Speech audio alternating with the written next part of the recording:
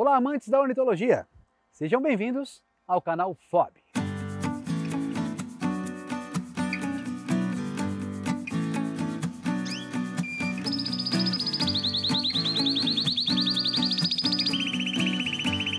Foram dois anos sem que a gente tivesse um campeonato completo.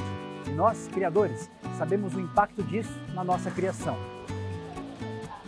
Então, chegou a hora de fazer acontecer o campeonato mais esperado de todos os tempos.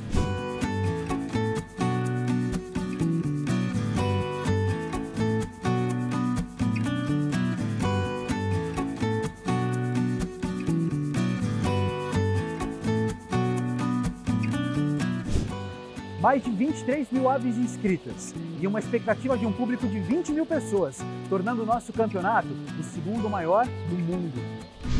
Isso tudo na sede da FOB, aqui em Itatiba, a maior estrutura já construída em prol da ornitologia. Para você ter uma ideia, nossa estrutura conta com dois pavilhões e mais de 25 mil metros de área, um espaço para julgamentos, uma sala específica para julgamento de canários de canto, setor veterinário, setor de não conformidades, estandes de vendas, sala de acolhimento infantil e uma estrutura para acomodação das aves sem igual no mundo.